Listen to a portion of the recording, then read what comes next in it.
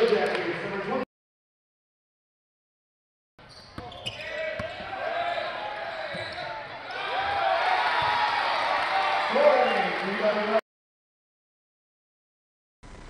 a shot saved by Whalen.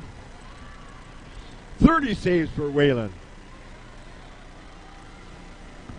She could have a 50 save night tonight.